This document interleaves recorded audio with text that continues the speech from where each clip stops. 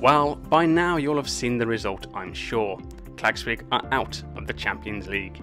They've played six individual Champions League matches this year, and before this season they'd only played eight in their entire history. It ended despite a night of heroics in Torshavn and a viewing party in the Klaksvík Sports Hall for those who couldn't make it to the capital. In the first leg, Molde made the trip across the North Sea and got the Arni Frederiksberg welcome. Two goals from the current Champions League top scorer.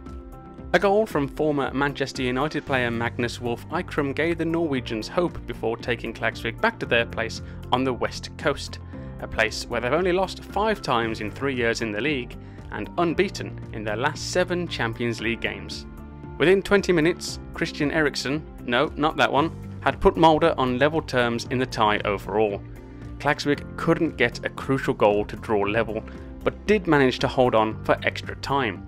And with just 10 minutes until another penalty shootout, Martin Linnes popped up to put Molde in front for the first time and ultimately over the line.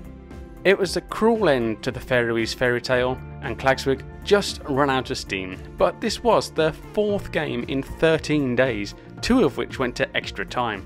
It's been an exhausting couple of weeks for them. Of course, their European adventure does not end here, there's a group stage waiting for them. Whether it's the Europa League or the Conference League depends very much on how they do in the playoff match against Sheriff Tiraspol, the team that have won 21 of the last 23 Moldovan championships but famously put themselves on the map by beating Real Madrid a couple of years ago. Despite playing 71 different teams in Europe, they've never played a Faroese team. Actually, quick side note to say Sheriff have got just 12 countries left to play in and they'll have completed Europe. They may be out of the Champions League, but with a group stage to come, there's still a great deal of pride around for Klaksvík. There's also a new kit for their upcoming European exploits, which sees their previous cluster of sponsors replaced with just one. JFK, a large fish factory in the town of Klaksvík. UEFA have strict rules on shirt sponsorships once you get to a certain stage in a European competition, and you're only allowed one sponsor on the front. So it's not Klaksvík cashing in on a commemorative shirt or anything like that, it's just the rules. The unnecessary rules. So it's goodbye to WAG, Bakkafrost, KSS, KBI, TTS, and all the rest. Hello, JFK. Note to self here's probably a good time to mention that shirt sponsorship video you did. It was also the end of the line for B36, who unfortunately don't have the luxury of dropping into another competition.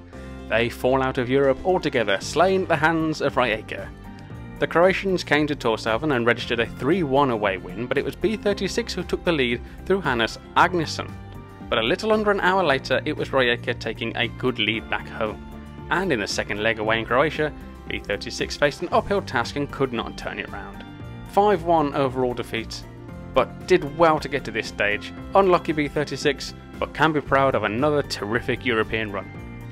Finally, thank you for 1,250 subscribers. We're now roughly the same size as Vestmanna, the seventh largest town in the Faroe Islands and the largest Faroese town without a football team. Well, once perhaps, but that's for another day.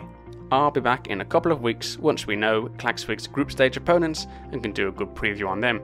Tak as ever, and I'll see you next time.